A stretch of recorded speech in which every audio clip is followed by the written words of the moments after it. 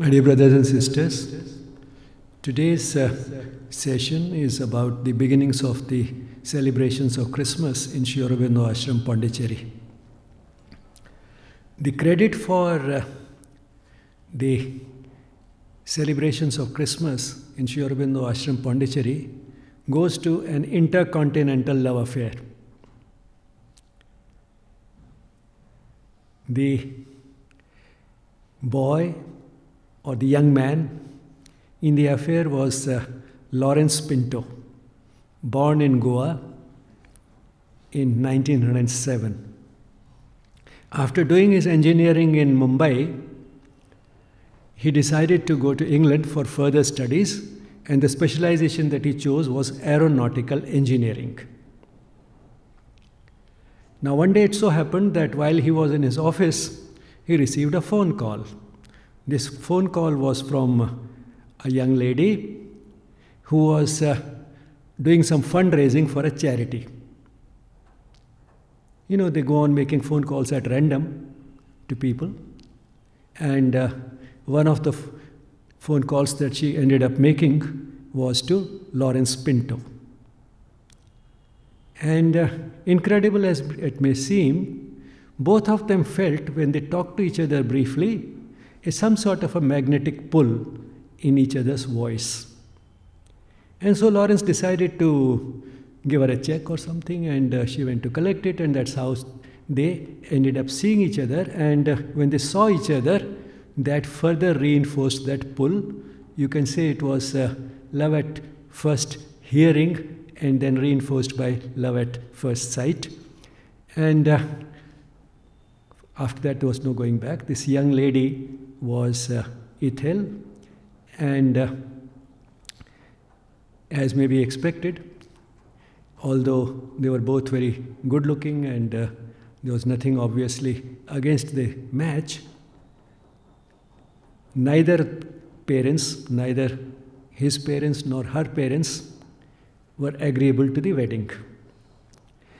And uh, these two young persons, as is usually the case, were adamant, and at the same time, they wanted to have a wedding for which they did not want any help from their parents.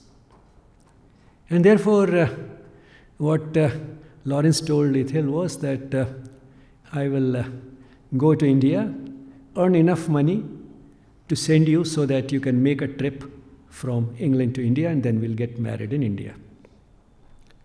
So, with this, he came back to India and uh, around 1934 and uh, started looking for a job. There was no job available for an aeronautical engineer because uh, at that time the total number of aeroplanes in India was exactly four. So there was no need for an aeronautical engineer to maintain aeroplanes. And another reason why he could not find a job was that uh, the British had blacklisted him because he had been seen participating in some meetings in England, uh, which were organized by freedom fighters, you know, people who were working for the freedom of the country while be, freedom of India while being in England. So they, he had been blacklisted. But the person who had been blacklisted by the British had been enlisted by the mother. And uh, let's see what, twist and, what twists and turns led to that finally. So, after he came to India and could not find a job, he started thinking of something else to do, maybe unrelated to his qualifications. And uh, that's how he landed in Pondicherry and started working with someone who was involved in export business. Pondicherry was a free port, and therefore there was plenty of import and export going on there. And uh, there was a Frenchman who was involved in export business there, and Udar, not sorry, Udar, Lawrence went and uh, started working with him and uh, made some money. And at the same time, in spite of being in Pondicherry, the ashram had been formally established in 1926. But uh, in spite of the ashram being already there, he had absolutely no attraction towards it. As he said, that he was basically doing two things making money and having a good time, whatever it may mean. So it took him about three years to make enough money to uh, send it to his uh, girlfriend, and uh, she made a trip to Goa, sorry, to Pondicherry, and uh, they got married in a church there and set up home. The year 1937 turned out to be very eventful for both of them in a way. Uh, not only that was the year during which uh, they got married, that was also the year during which uh, they started expecting a child, and that was the year during which they also got attracted to the ashram. And let's see how that happened. That happened because uh, ashram was close by. Lawrence might not be interested in going to the ashram, but uh, some young people from the ashram got interested in coming there, and the first one amongst them was Amal Kiranji. Uh, Amal Kiran was his uh, spiritual name given by Sri. His original name was K.D. Sethna. He was from Mumbai.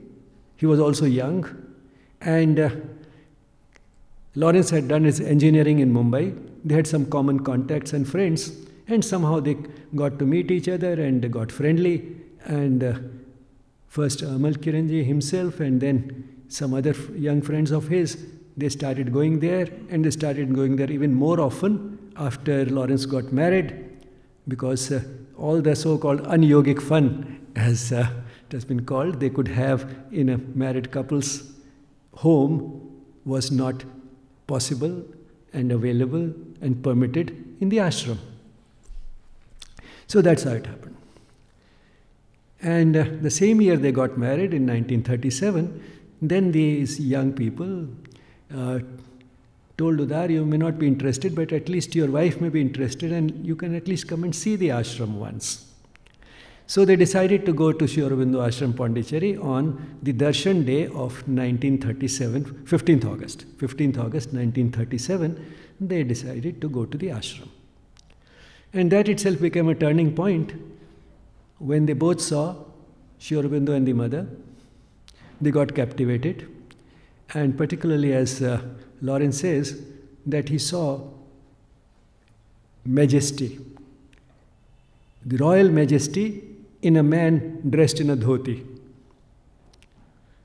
Something which was sort of unbelievable to him got captivated. And uh, it was he, in fact, now who started trying to persuade his wife to move to the ashram. And uh, they were so much in love with each other that she readily agreed. So the same year they moved to the ashram with a little daughter Gauri. So very eventful year, 1937. And uh, one can see that uh, this was the type of people who had been picked up by Sri and the mother, because in a way they were barrier breakers, the harbingers of a new age. Imagine in those days, a British girl and an Indian boy falling in love in England and then insisting on it and some succeeding to get married and successfully getting married and so on. All this was quite unusual, something unusual. But uh, apart from that, I mean, the way they were, uh, the type of bent of mind they had and the way they got captivated quickly and then made this quick decision to move to the ashram, they were not ordinary people. And, uh, and that's how they moved to the ashram. And uh, on his next birthday, after 1937, that is April 1938, Sri Aurobindo gave Lawrence the name Udar, which means generous. It also means noble, truthful, sincere. Because all these qualities go together. Without these other qualities, like gratitude, sincerity, truthfulness, uh, one cannot be really generous. So that's how he got this name Udar and came to be known as Udar Pinto. And probably he himself had given another name to Ethel, and that was Mona. And then asked Sri Aurobindo whether he would like to give her a name. But Sri Aurobindo said, no, Mona is fine because it reminds me of Mona Lisa. So she came to be known in the ashram as Mona Pinto, and he as Udar Pinto. Now let's talk a little bit about uh, Udar. You might be wondering that the topic was Christmas and I'm going on talking about this love affair and their marriage and moving to the ashram, but we'll see how they get linked up. Now, this person, Udar, he was a multifaceted person. And uh, I'll try to list some of the things that he did while in the ashram. But uh, the, in this book, from which I've got most of the material, Seven Dedicated Lives by Sunayana Panda. Uh, she's talking about seven dedicated lives. There's seven of the early disciples of Sri Aurobindo and the mother. And two of them were Lawrence uh, or the Udar and Mona Pinto. So that's how both their biographies find a place in this book. She says, uh, Sunaina, you know, this author of this book, she says that uh, it will be much easier to list what Udar did not do rather than to list what he did.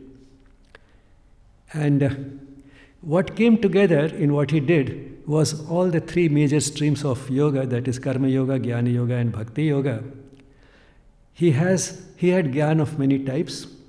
Spiritual inclination he had. He had the background of uh, the Bible. But apart from that, he had technical knowledge, sound technical knowledge as an engineer. And he had dealt quite a bit with the outside world both here and in England, and he had contacts both in India and in England, directly and through his wife. And all this became a very valuable piece of gyan. And all this was pressed into service, into all the work that he did, the karma that he did. And all this karma became enjoyable for him, and he became passionate about it because of his devotion to Sri Aurobindo and the mother, particularly the mother. So all three came together, and that's how he ended up doing all that he did. And uh, when he arrived, the planning for constructing a new home for the sadhaks was going on, and uh, a generous grant for this uh, new building had been provided by the Nizam of Hyderabad. And uh, this was on the recommendations of Akbar Haidari. And the architects who were uh, enlisted, some of the top architects of the world from the Western world, they had been roped in to prepare the designs. They were not just architects, they were also artists and they had given everything in meticulous detail, including the types of nuts and bolts to be used. Now, this type of nuts and bolts were not available anywhere. And that is the point at which uh, Udar and Mona moved into the ashram, and uh, the mother thought, here's the right man at the right time for the right reason. Uh, she asked him to prepare, make, manufacture those nuts and bolts. This was one of his first assignments. And uh, they were to be made out of brass. She provided him all the old brass utensils that were available in the ashram, melt them and make nuts and bolts out of them. So that was his first assignment, and he did that. And apart from that, he contributed in many other ways to the construction of that building the polishing of the floor stones, the woodwork. And from that emerged the idea of having a workshop within the ashram, and he established the workshop, the Harpagon workshop. And when he asked the mother how much money I'll have available or I'll need money for the equipment, etc., she took him to her cupboard where the money was kept, opened it, and showed him how much money was there, and she handed him exactly rupee one. So he understood that there's not much money available and he has to improvise things, manage with as little as possible. But then he was so passionate about it that he got completely involved in the construction of the workshop and he would forget to return home, even for meals and sleep, and he had to be literally dragged out of the workshop to go for the essentials like eating and sleeping. Then one of his next assignments was to make furniture for Sri Aurobindo's room because the old furniture was made of uh, some very poor quality wood so good quality wood was purchased, and then one of the requirements was the dimensions of this furniture should be exactly as they were of the old, because Sri Aurobindo and those who were taking care of him were used to that type of dimensions. So he designed that and made that furniture, and uh, associated with this, then got the maintenance of this furniture. So, she mother assigned him the duty of going and polishing and cleaning that furniture every day. And he used to spend deliberately much longer than was necessary because that was the time when Sri was dictating Savitri to Nirodha. So he enjoyed listening to the master himself dictating that scripture to Nirodha. And uh, he became a sort of that parrot who had heard everything that Shiva was telling Parvati. There's a legend that uh, once Shiva was giving uh, sacred knowledge to Parvati in a cave, in a cave because he didn't want anybody else to hear it. Because this is one of the traditional injunctions that there are certain types of secret knowledge of the highest order in spirituality which should not be given away freely. They should be given to only those who are receptive and eligible for it. So he was trying to maintain that sort of a secrecy. But in that cave where he was reciting all this to Parvati, there was a parrot who ended up hearing, who ended up hearing all this, and the result was that the parrot became a rishi, and he then got born as Rishi Sukadev. So he became a sage, a, a rishi, a seer, because he heard all this.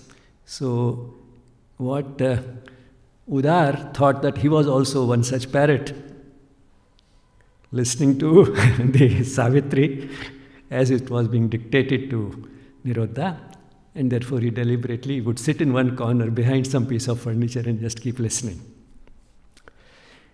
Another of his assignments was to help in the construction of a sugar factory. And then came the construction of uh, a theatre. And uh, the theatre was ready around 1956. And uh, then there were performances there.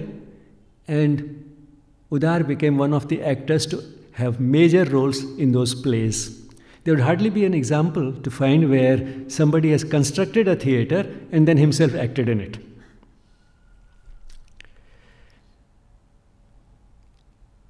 Then, you know, because of his knowledge of the outside world and business and export and all this, he was then also made in charge of the purchase department of the ashram. And then, being an academic person, he was also started taking interest in education. And he, being an engineer and an educated person, uh, they together, he and uh, Pranabda, they together set the pattern of physical education in the ashram school and also decided what all equipment to buy, where to buy it from, how to make one ourselves, how to improvise equipment, and so on. All that was done by Udar along with Pranabda.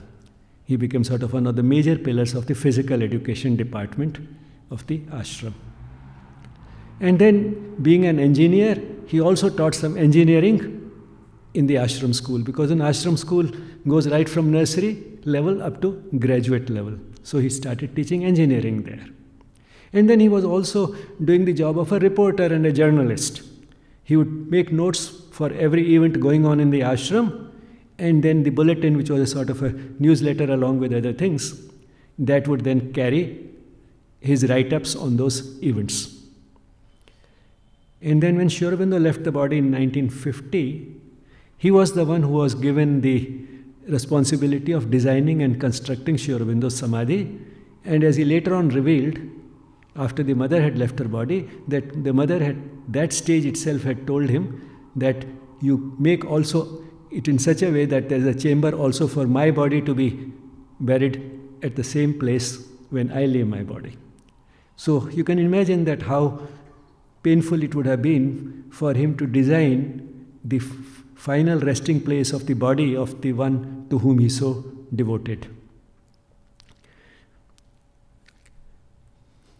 Then, you know, he was also the master of ceremonies at uh, the foundation uh, laying ceremony of Auroville in 1968, in February 1968.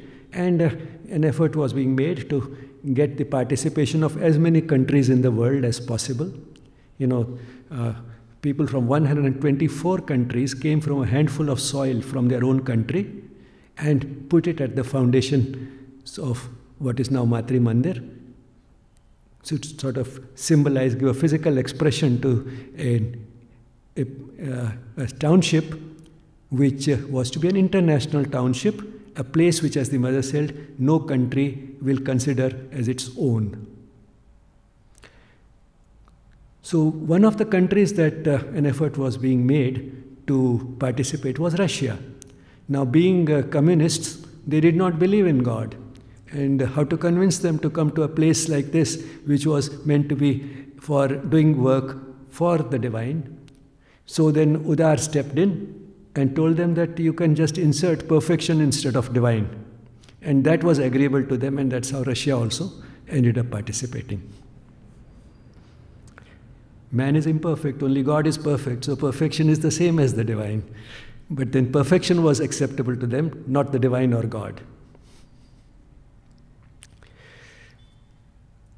In fact, I mean, he was uh, such a versatile person that, uh, uh, as you know, this in this book says, Sunayana says, that if there was anything complex requiring a sort of versatile approach from many angles, mother always enlisted it, entrusted, uh, entrusted it to Udar. And his devotion to the mother was total, uh, like that of Hanuman. And again, as she says in, in this book, that if the mother would have asked him to jump from the first floor, he would have done it without asking any question. That is the type of devotion he had. And that is what, it is because of this devotion that he was extremely passionate about what he did. And when he brought this passion rooted in devotion to the work that he did and the abilities that he had because of the knowledge that he had, it led to that perfection which you get only from the combination of uh, all the three knowledge, action, and devotion.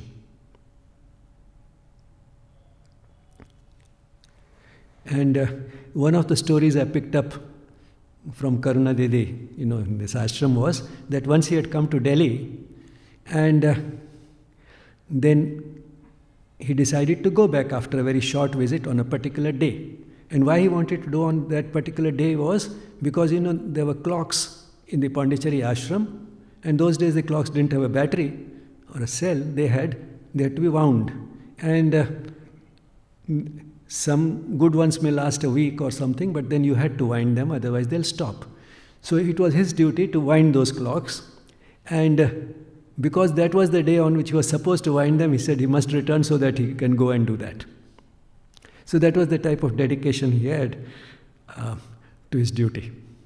His, the departure was determined by when he was supposed to go and wind those clocks in Pondicherry.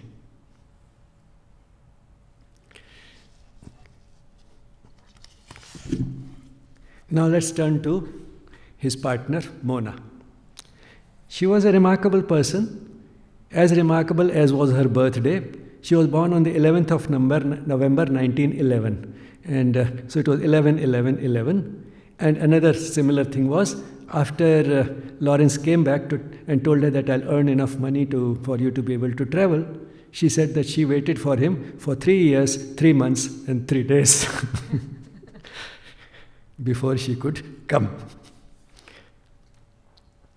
Now, when they moved into the ashram in 1937, that is the time when Golconda, Golconda, it was named Golconda because the money had come from the Nizam of Hyderabad, and uh, she wanted some link between Hyderabad and uh, this uh, in this uh, home for the sadhaks, which eventually then became a guest house. But uh, she wanted a connection, and that's why you know, Golconda Fort is in Hyderabad. So that's why Golconda. So that was being designed. So while uh, Udar was given all these duties of making nuts and bolts and designing furniture and so on and so forth, she was given the task of homekeeping, housekeeping, designing linen and all that, embroidery and whatever. So she st started doing that.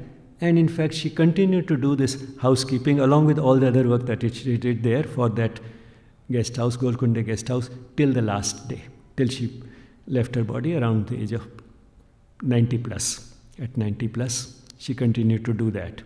And one of the stories that uh, uh, is worth mentioning here from that uh, guest house is that uh, once a doctor who knew some uh, resident of the ashram, who in turn, uh, so this doctor who knew this resident in the ashram came to stay there.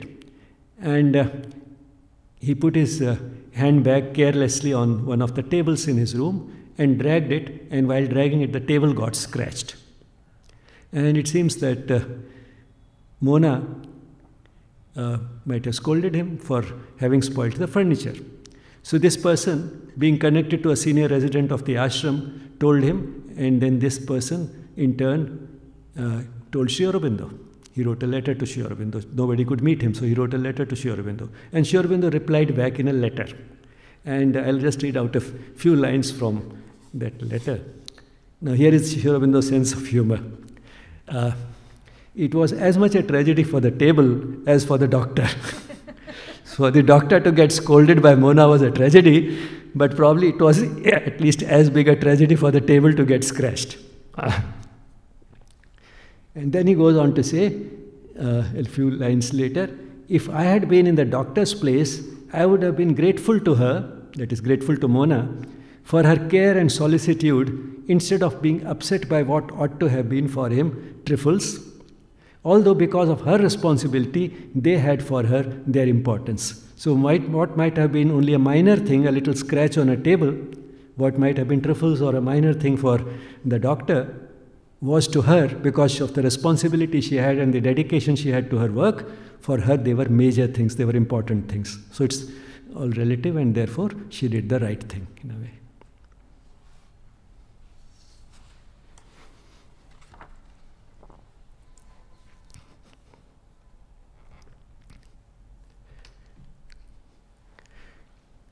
Now, she remained right till the end as much British as Indian. And that actually helped in housekeeping and taking care of minute details, as you might have noticed from the scratch, this incident of the scratch. Uh, the type of perfection that uh, the Western world has brought to the physical or material sphere is something which is really remarkable. And, uh, and therefore, uh, uh, in integral yoga, where uh, outer work is just as important as inner work, this perfection is also a part of the sadhana, part of the spiritual seeking. And uh, therefore, in a way, in, a, in Sri Aurobindo and the mother also, we ended up getting uh, the best of the both, the best of the both the Eastern and the Western world, India being more suited to inner work and the West to the Western world. We got that combination in Sri Aurobindo and the mother. And the similar combination again in Udar and Mona, one from the east, one from the west, and we got this combination. But then she also had that in, picked up or had inherent in her, maybe because of all that came with her from previous lives, that uh, Indian opening of uh, opening towards spirituality and immense degree of empathy for the poor. Uh, all the staff that she worked for her in there, including the uh, those who just kept the place clean. Uh, all of them received immense love from her. She would take care that they are comfortable and happy, and uh, in difficult times, provide all the support to them. And she picked up the local language. She would speak Tamil in the British accent, and uh, sort of completely got sort of uh, integrated into the atmosphere there. She has been described, you know, again by in this as the goddess of practical sense. So mm, it is because of this practical sense, along with being, also again she says, along with being an eternal romantic and a dreamer. So a very unusual sort of a combination on one hand an eternal romantic and a dreamer, and on the other hand the goddess of practical sense. Now, again, just as they were the right persons at the right time for the construction of the Golconda uh, guest house, they were also the right persons for the school to start the school in ashram, uh, in the Pondicherry ashram started because of the entry of children. And the children came there because of the Second World War. Because before that, there was no children. And the children came because of the Second World War, because many Indians went to uh, fight in the World War. And Sri Aurobindo was quite supportive of it because he wanted that all we could, we should also help England in uh, fighting the Nazi forces because the mother and Sri Aurobindo believed that uh, if Hitler wins, then it will take the world back several centuries in terms of the evolution of consciousness. And therefore, uh, they were supportive. And the, those who were going to fight in the war, uh, many of them felt that Pondicherry was the safest place to be, not only because it was a French colony, but also because of the protection that they would get from the mother and Sri Aurobindo. So many of them left their families, their wives and children in the Pondicherry ashram. And that is how quite a large number of children ended up coming in the early 1940s. So this couple was there, and then Mona thought that uh, let the children have some fun. So she started inviting in 1944 the children to her house on Christmas Day. So that is how the Christmas began. And uh, the children enjoyed going there. And then the mother thought, why should only the children have all the fun? So she made it a more general celebration in the playground. And uh, then, you know, it continued in the playground, but in the playground, you know, weather being uh, a little uh, unpredictable, very often it would rain or something. So then it was, after the theater was ready, it was shifted to the theater in 1956, 58. The theatre came up in 1956, 1958 onwards, it moved to the theatre, these Christmas celebrations.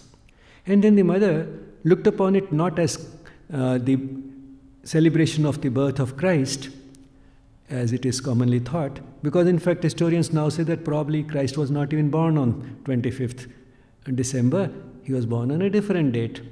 And uh, this was just sort of uh, taking up one of the festivals which preceded Christianity by the Christians and uh, giving it the name of Christmas and treating it as the birthday of Jesus Christ. Uh, so, I mean, things which are as much as more than 2000 years old, all these confusions do occur. But then, how did it precede the celebration uh, of Christmas? How did, does it go much further back than these 2000 years?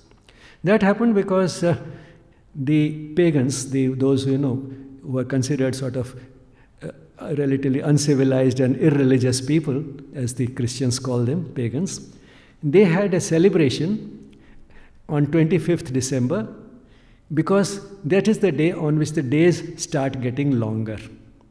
Actually, it is 21st December, but there might have been some mistake in their calculations. So they thought that 25th December is the beginning of longer days. Now you might say that's a minor thing. Why have such a celebration for the days becoming a little longer?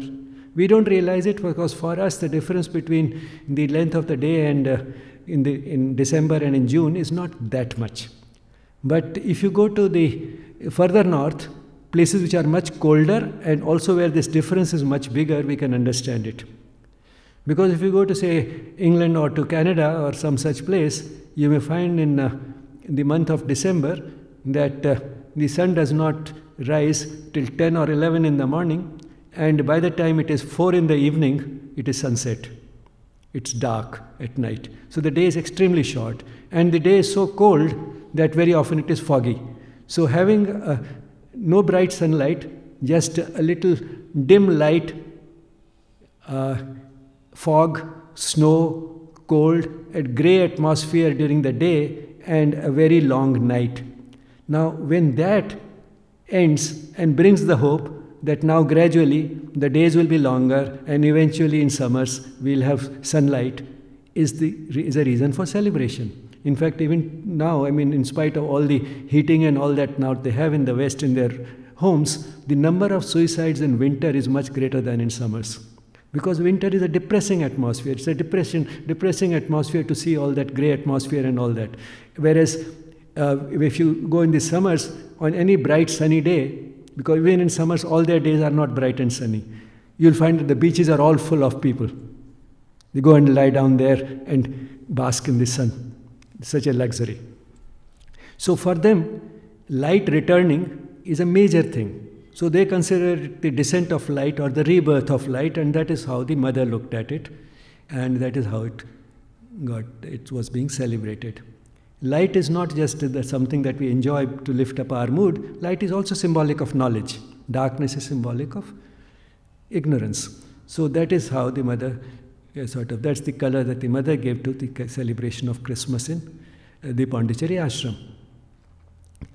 Now the celebration also included giving away gifts for which there was no money available. And uh, then again, Mona stepped in with her organizational skills. A room was reserved in the basement of Golconda Guest House in which whatever objects became available during the year which could be used as gifts were given. Some of these were donations, some of these were made by hand, you know, handicrafts and all that which the ashram people made. Some of these uh, were improvised, for example, used tennis balls. They could not, when they could no longer be used as tennis balls, they were painted, dyed, made beautiful, and then kept for children to be given away as gifts on Christmas.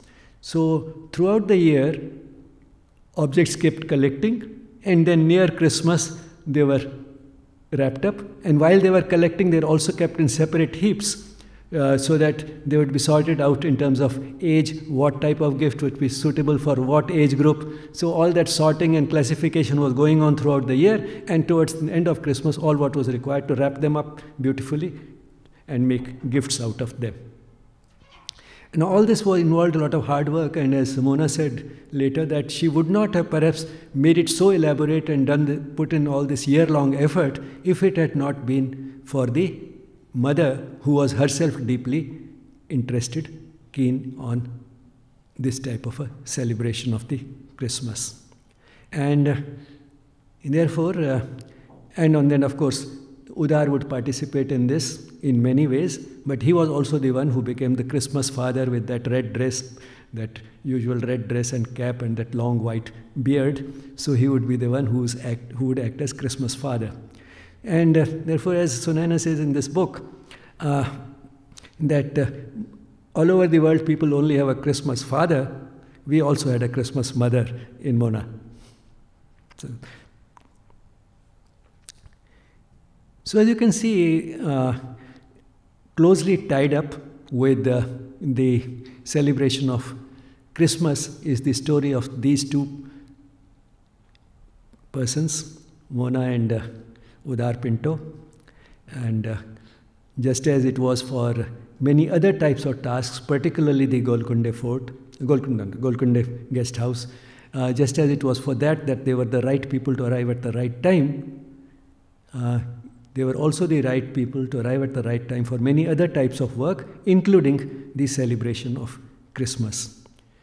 So you can see that uh, although Christmas was only a minor or small part of all that they did, it also is rooted in their arrival in the ashram. And uh, so every line and curve has a meaning, as you can see. If you now look back it's always easy to look, in, look back in retrospect and then connect the dots. If you do that, then you'll find that uh, Udar, having decided to go to England to study aeronautical engineering, when he could have easily got the job as an engineer in India, perhaps that super specialization was not really necessary at that stage to get a job as an engineer. His deciding to go and study aeronautical engineering in those days when there were hardly any aeroplanes in India. Uh, and then she making a phone call to him and they finding that magnetic pull and then finally deciding to, against all odds, to actually get married and waiting for each other for more than three years for it to materialize. All that was. And in those days, three years meant really three years of isolation because there was no email, no WhatsApp, no smartphones. All they could do to communicate was to write a letter, which will take about two weeks to reach the other country, and that too, if at all it reaches. In those days, they waited for each other for more than three years. As she said, exactly three years, three months, and three days. So, all that happening, incredible story, with a meaning, And that's how two persons who are to play a unique role in uh, the movement initiated by Aurobindo and the mother, a movement which was to touch the human race. Uh, in that, these two persons, born thousands of miles apart, coming together and contributing together as a couple, along with their daughter Gauri, to the ashram was something really remarkable. So, this is how the divine design works, as you can see in retrospect, uh, to achieve these incredible things. Just as when Sri and the mother, again born thousands of miles apart, but then just at the right time, actually making a contact at the physical level. The mother making her first visit to Pondicherry in 1914 to trigger the publication of Arya, and the second visit and the final visit in 1920 to give a practical shape to their philosophy because her philosophy, her way of looking at spirituality was exactly the same as that of Sri. So, all those thousands of miles don't matter. What matters is what the design is. If it has to happen, it will happen at the right time, in the right way, and for right reasons. So, this is what uh, this story of celebration of Christmas in Sri Ashram Pondicherry is. And uh, this place, being a continuation of Sri Ashram Pondicherry, also celebrates it in the same way. And uh, gifts are given here too. All that is sort of done in the same way as was done in Pondicherry. so, all such places do build up their traditions. And as you can see, this is one of the traditions, one of the celebrations that uh, has become a part of Aurobindonian institutions, and it is as a celebration of the rebirth of light or the descent of light.